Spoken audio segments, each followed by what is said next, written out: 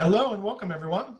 My name is Joshua Allen Young. I'm one of the producers and organizers of XR Safety Week uh, for the XR SI. Uh, today is our fourth day of, of our uh, full week of content and the theme today is all about medical XR. And we're just so excited to see everybody here uh, in the room and for all the people joining us via YouTube or maybe watching this after the fact. Really happy to have you here today.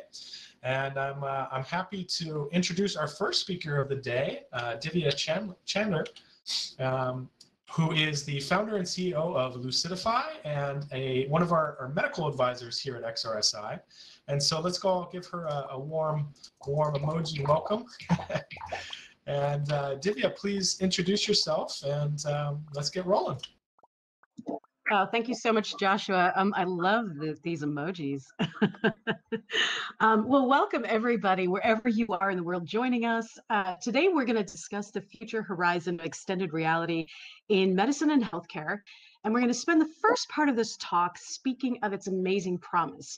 And then we're going to talk a bit about the new risk landscape that emerges, and finally talk about some mitigation strategies. All right, so when I think of medical XR, I place it broadly into three buckets. The first is immersive education. Uh, the second one that you see there on your screen is diagnosis. And the third one is treatment. So we're going to start with the education bucket. Now, medical education and immersive learning using VR, AR, and mixed reality is, is just a huge part of what medical XR is today. Make no mistake, Meta, which was formerly Facebook, is really interested in this space, and so are all the other big players. Now, this uh, this is a great place to start. Uh, this is my friend and dear colleague, Dr. Shafi Ahmed, a surgeon who is actually in this audience. He is in the UK, uh, in 2016, he performed the first live stream surgery in VR, and he continues to build a platform and opportunities to participate in surgery in the operating room or even surgical rounds of patients uh, so that he can continue to teach and reach a large audience in real time. So he's going to tell you a lot more about his endeavors in his next keynote. But the important point I want to make here is that this is really important for access.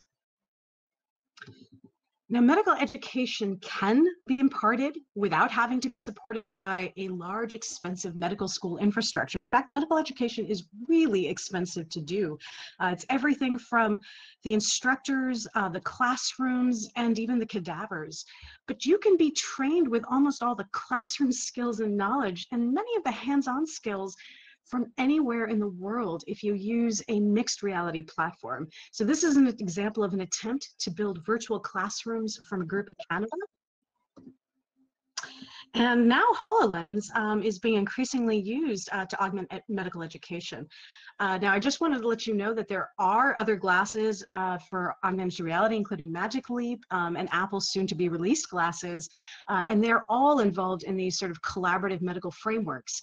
Uh, but with Microsoft's Mesh, which is a mixed reality platform powered by its Azure cloud service, uh, is to enable people in different physical locations to join 3D holographic experiences on various devices.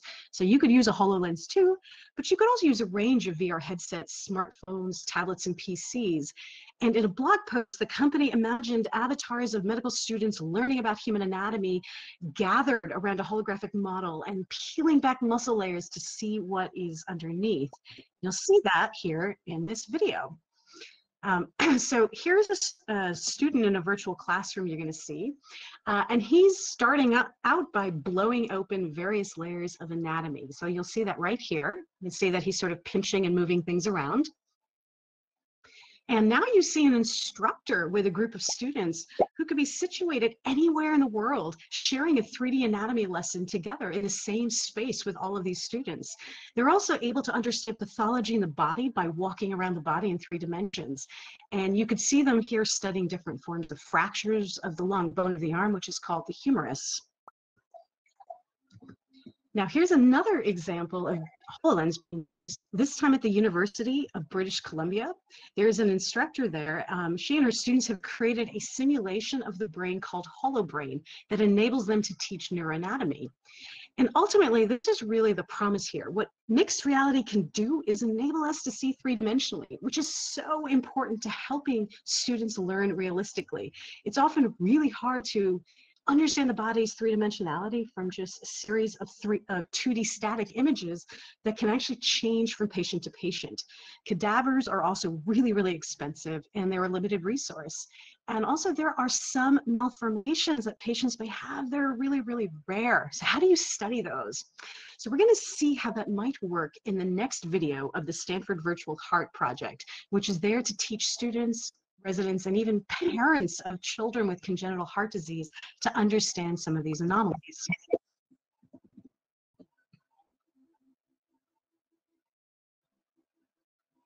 Hi, I'm Dr. David Axelrod, a pediatric cardiologist at Stanford, and we're taking medical education to a whole new level.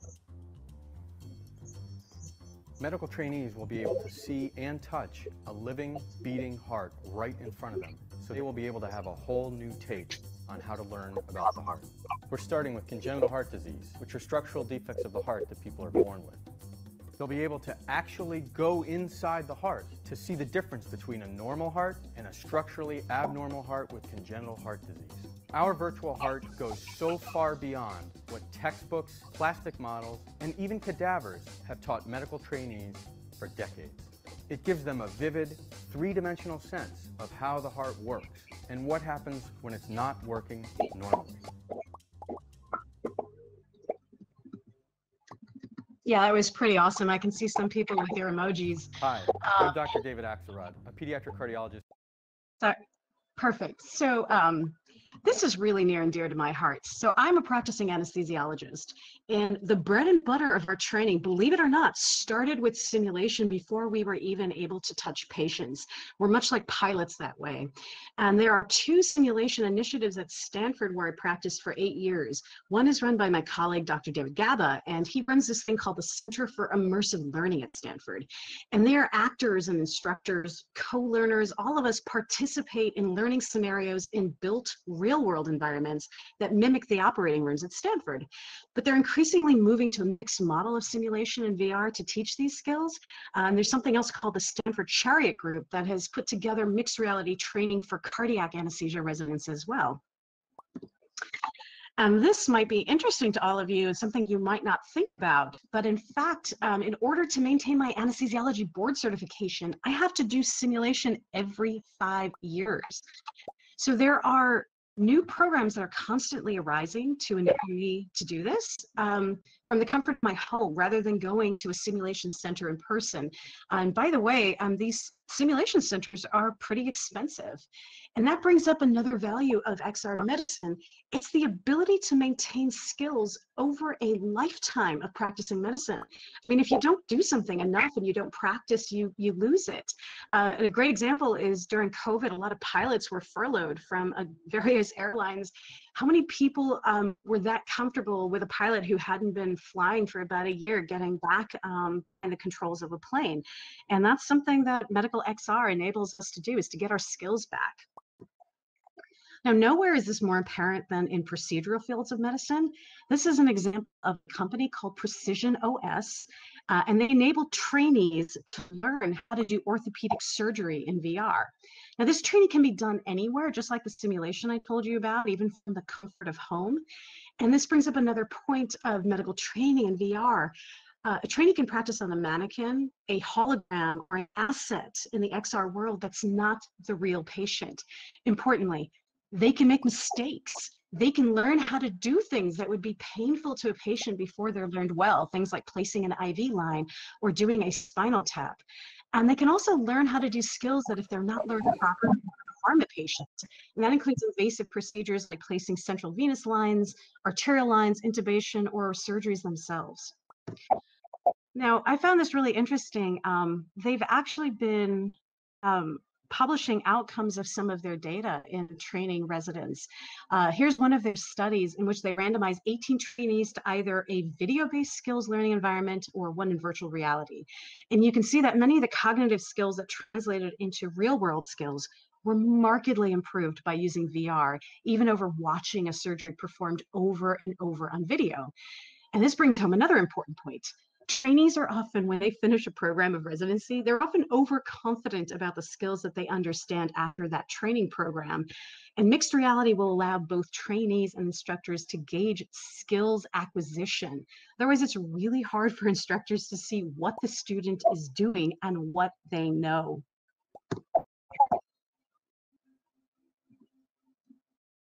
This is another orthopedic surgery company, also VR, and they're training surgical residents in collaborative environments in the operating room.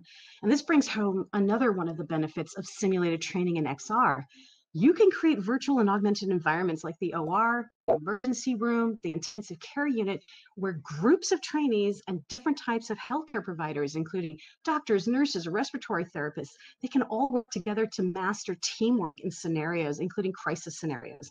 Team coordination, believe me, I've been in this in the real world, that can save a life. So medical immersion training, I would say it emphasizes teamwork and cognitive skills, we talked about practicing things over and over until you get it right without people having to watch you and judge you. Um, we also talked about skills assessment maintenance of skills over a lifetime, and we talked about access to people who wouldn't otherwise have access.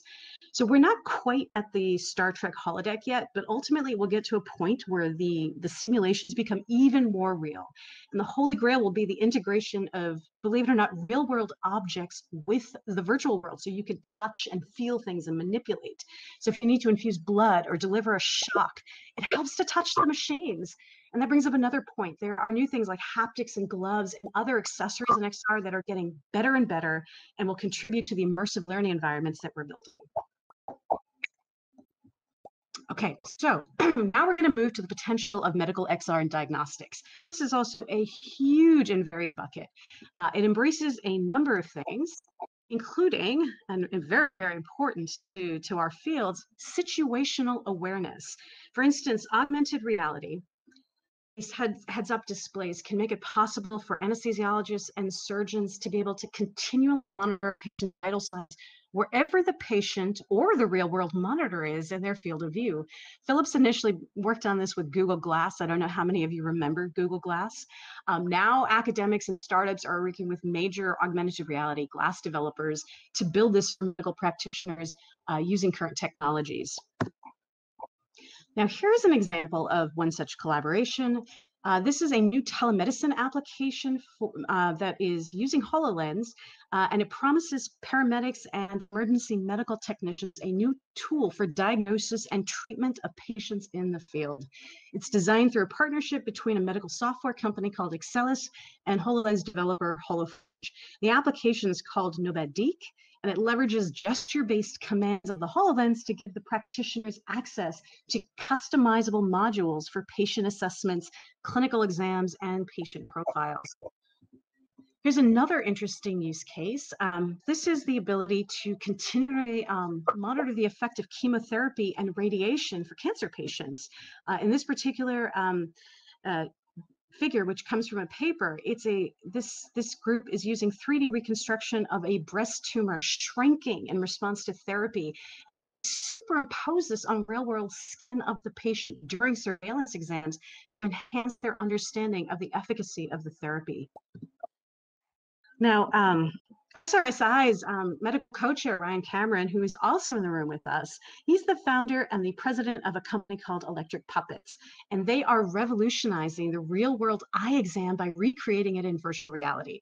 So eye exams, for those of you who have them, they're really cumbersome, they're time consuming, they require expensive equipment, necessitating a patient come from wherever they live to an eye clinic with all of this equipment. And this could be prohibitive in terms of getting the exam.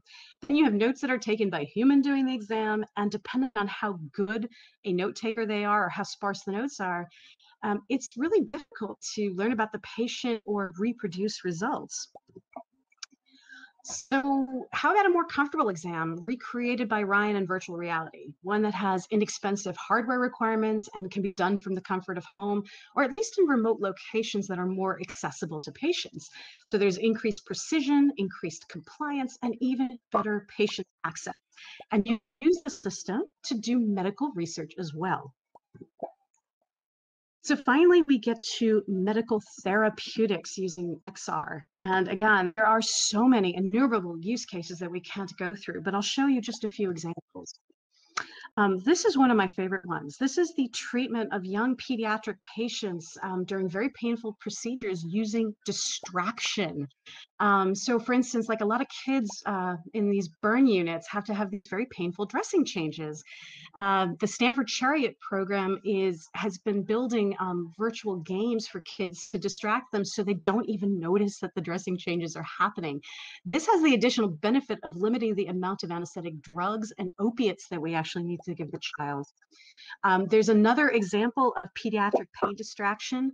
This application is called Snow World and it's a VR app developed for children in which they can throw snowballs at penguins and snowmen or just go along for the ride. And this reduces the pain experienced by burn patients by up to 50%. Uh, and as one child said, it's just white noise to me. I wasn't thinking about anything. I was just shooting snowballs. Um, okay, so this is uh, Augmedics. Uh, this is showcasing another amazing use case. They're an Israeli company that um, has developed the first and only FDA-approved augmented reality headset for surgical image guidance. So they have this thing called the X-Vision Spine System, and it allows surgeons to visualize the 3D spinal anatomy of a patient during surgery as if they had X-ray vision, and to accurately navigate instruments and implants while looking directly at the patient. So rather than having to constantly look up or to the side at a remote screen. And they want to revolutionize, revolutionize how surgery is performed by giving the surgeon better visualization, control, and accuracy. Now, in the United States, in uh, 2020, over 250 spinal surgeries were performed with this system. And um, they just raised a $36 million Series C funding round. So it shows that investors have confidence in this type of uh, medical XR. Now, this is going to be my final example that I show you uh, in the therapeutic space, but this one is just so extraordinary. I had to do it, and it's very dear and dear to my heart. Um, this showcases the power of VR for people with spinal cord injury and people who are paralyzed. In this image, you see a paraplegic who's paralyzed from the waist down due to spinal cord injury. And this patient is in a robotic exoskeleton harness. There is a non invasive brain reading device that reads his thoughts and his desire to move. This is interpreted by an algorithm and it's translated to the exoskeleton, which actually can carry and move his legs forward. So this um, enabled this patient to make the opening kick for the 2014 FIFA World Cup. So just understand here, he's paralyzed. He is using his mind to control a robotic exoskeleton to kick this soccer ball or football, uh, depending on which part of the world you're from. Now, more importantly, these um, patients in the Walk Again study also trained in virtual reality. So as these paralyzed patients actually imagined using their legs and walking, there was an avatar of them that also walked in the virtual world. Um, haptic feedback was even incorporated by being delivered to different parts of their body other than their legs because their legs lacked sensation. Now, the end result of this is actually quite extraordinary. Um, this very uh, modest paper was published, but what they described is that um, all of the patients that they had trained in this combination of uh, you know, this robotic exoskeleton, this haptic feedback, and this virtual reality training, they all regained some form of limited neurological function after spinal cord injury. In some cases, it was just control of bowel or bladder function, but that is a huge deal for people who have lost control. Uh, one patient was actually able to start walking again a little bit under their own power. Understand this is without invasive surgery, stem cells, CRISPR, any of these new technologies, simply by the power of visualization that was enhanced by feedback in the extended reality world, a damaged nervous system was partially restored. This is power of medical XR. And that's why it's not surprising that it has been used in the field of stroke rehab as well. There are a lot of companies that are building medical XR applications for stroke. Other notable use cases include things like mental health uh, and treating people with PTSD.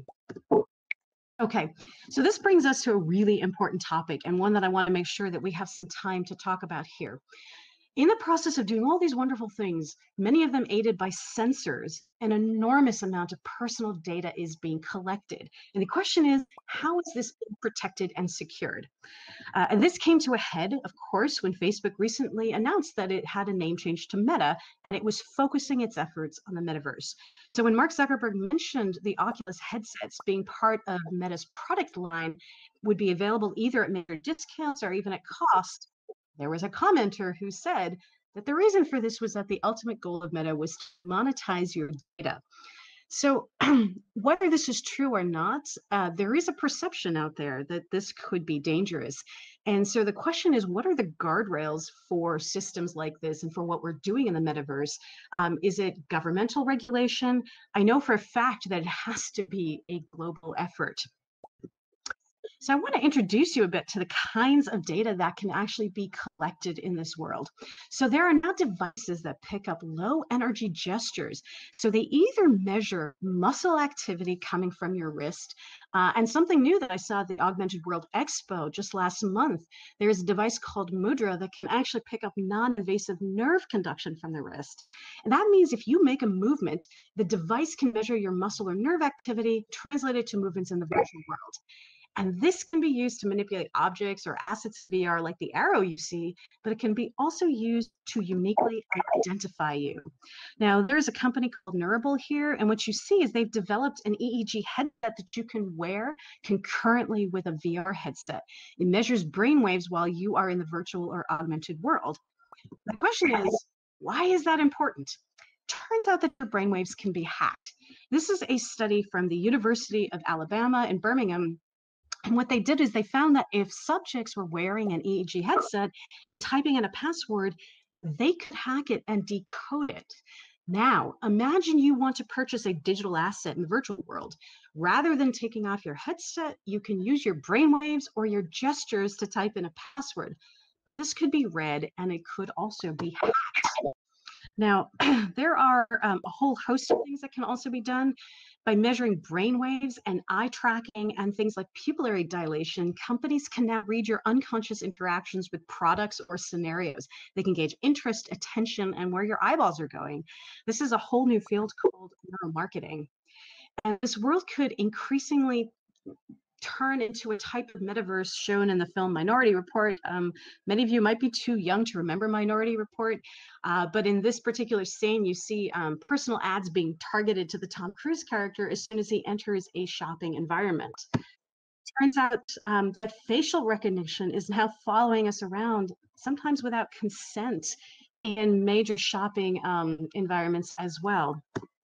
Now, here's another example. Uh, this is Poppy Crum and she is the chief scientist at Dolby Labs. Uh, sorry, uh, next slide, please. Yeah, that's it. And uh, she's describing the ability to read heat and carbon dioxide emitted from your face and your mouth in order to gauge engagement, excitement, and fear. And it turns out that your brain waves can also be used as a brain print. That's correct, a brain print. So here you see an example of Sarah Laszlo in her lab. And what they're doing is they're putting very reduced uh, sparse arrays of electrodes on um, subjects, and they're showing them basically images and they're measuring their brain waves and they found that they could identify a subject with 100% accuracy doing that. Now that would be great for things like authentication that might not be able to be broken, but you could also hack that and you could use that to say recreate that person and um, as we move on, it turns out that you can actually record people's brainwaves non-invasively, perform some machine learning on that on data that was trained in another database for things like addiction or um, mental illness and you can actually decipher which people um, are likely to have addiction problems or things like schizophrenia um, without having to really ask any questions. So the question is, what could be done with this data? Could you be denied a job? Is this going to be the new way of getting a job rather than say paying into a cup and deciding if you are drug free? Uh, could be denied health insurance? And ultimately, I say that we are moving into a world in which we can be digitally twinned. Um, turns out that you are using an Oculus headsets. Now there's all kinds of sensors that can measure your biometry, things like brain waves, eye tracking, pupil size, your voice, your low energy gestures in the ways that I showed you with Control Labs device or a mover, and your body's movement. So a really very realistic digital twin could be created of you or a deep fake that was absolutely indistinguishable from you, at least in the virtual world to start. Who owns that? Is it going to be Facebook Meta or Microsoft um, to give them those permissions? Who protects that data? Who can hack it? Who can recreate a simulacrum of you and commit crimes in your name, open loans, wipe out bank accounts? Uh, that's actually been done already by imitating people's voices, which are pretty um, a pretty good way to identify people. So there are movements afoot to protect the most precious data, including the read technologies that can be applied to your brain. Um, and that dovetails nicely with sensors that can be worn during the AR VR experience. Chile has specifically taken uh, steps to protect those neural rights by writing a neural bill of rights, literally, into their constitution. Um, and I just want to introduce the idea, and we won't be talking about it today, uh, yes, here we go, um, that there are future internet architectures out there um, that actually protect data itself and the data producers. That's you as the end user. Um, and these are decentralized networks, they're not the blockchain, but they enable users to have more control over their data and actually authorize who their data is shared with. Um, and that's the work and mission of XRSI. We're working to build privacy and security frameworks around data uh, that's collected to protect users that will be interacting in this global, decentralized, and empowering new world. Um, Ryan Cameron, uh, one of our advisors, uh, has made a great intro video to watch to understand this framework being built. You can see it at this link, so definitely take a screen capture of the link. It can also be found on the website. Uh, and what I wanted to end with is to say, I hold these statements as realistic approximations of where we are right now um, XR is going to enable unprecedented access to healthcare and wellness. It's an opportunity, however, to collect enormous amounts of the most sensitive human data. And we have a duty to protect and maintain biosovereignty as a tenet of human rights. So I am really excited to have all of you here. I appreciate your interest and your joining us, and I hope that we can form a community of stakeholders. Thank you guys so much.